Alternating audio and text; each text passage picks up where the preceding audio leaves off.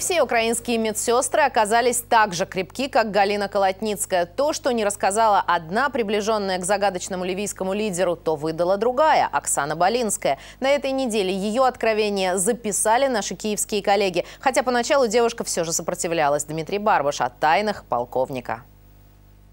Ну, вы же понимаете, что я ничего не буду говорить. Почему? Я работала президента, эта информация секретная. О любви ливийского лидера к украинским медсестрам весь мир узнал благодаря Ассанжу и его Викиликс. Девушки из Незалежной давно вошли в доверие, следят за здоровьем папы уже 8 лет и работают только на Каддафи и его семью.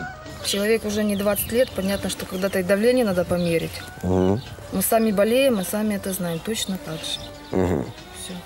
А он, ну, он крепкий, Наверное, больше здоровья, чем у нас. да? Почему? Потому что он пьет молоко верблюдицы? Ну, может, и пьет. Лидер Джамахири вообще ответственно подходит к своему здоровью, утверждает Болинская. Раз в год он проходит обследование. В еде неприхотлив. Кускус из баранины или с мясом верблюда, итальянская кухня, особенно любит макароны. Еще Оксана Болинская, хоть и неохотно, но все же поведала, зачем бедуин Каддафи берет в каждую поездку шатер. Приезжает в любую страну. Если есть э, место, где разместить это шатро, он просто там сидит э, по работе, днем документы, то уже там тоже такое говорят. Чуть ли не живет он в шатре, он там не живет, не спит. И мы там не спим с ним. Никакого интима, утверждает Болинская. Да, и совсем не Колотницкая, главная медсестра полковника, а сербка Драга. Она с папой во все командировки ездила. А вот как украинки попали в далекую Ливию. Он работалось. года Ну, назад был Каддафи с визитом в Киеве. Вот это было лично, вот как бы как на кастинге.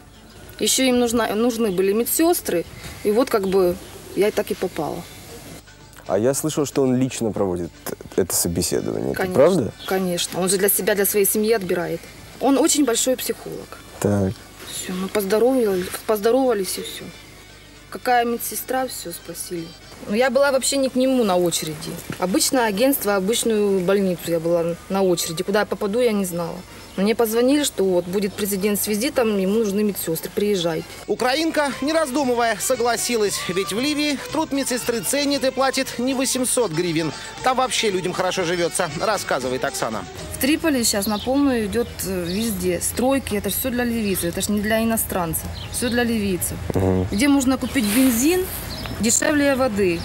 Нигде, наверное. Это все прекрасно знают за бензин лично.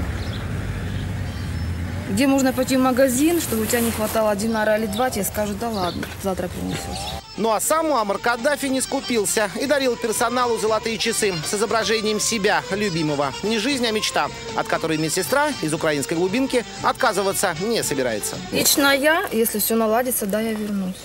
Дмитрий Барбаш, вместе Украина.